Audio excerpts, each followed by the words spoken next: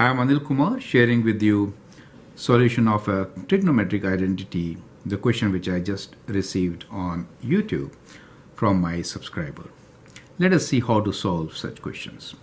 We are given cot A plus cot B divided by cot B plus cot A equals to cot A tan B. Rather, we have to prove this, right? Prove the identity as given to us. So the identity is cot A plus tan B divided by cot B plus tan A. That should be equal to right hand side is cot A tan B, right? So normally we start from one side. So let me start from the left side. We can always simplify this, right? So left side for us is cot A tan B divided by cot B, let me correct this, cot B tan A. Now, as you know, what is cot theta? Cot theta is uh, cos theta over sine theta, correct? And what is tan theta? Tan theta is sine theta over cos theta.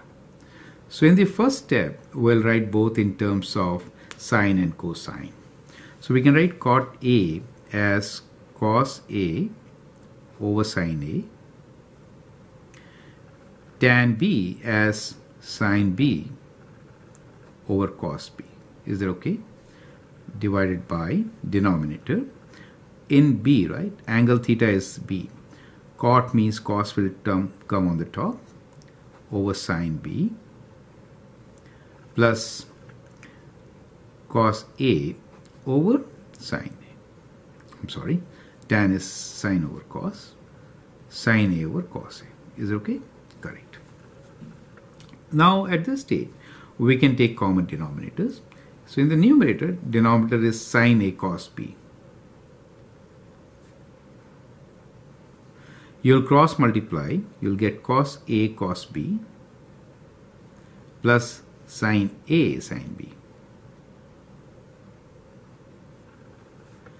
In the denominator, you'll again take the common denominator, which is sine B cos A, right? Sine B cos A. And when you cross multiply, you get cos A cos B plus sine A sine B. At this stage, you can see that the numerators of both cancel out, right? So what do you get? Let's write it on the right side. We'll just flip it, write it on the right side.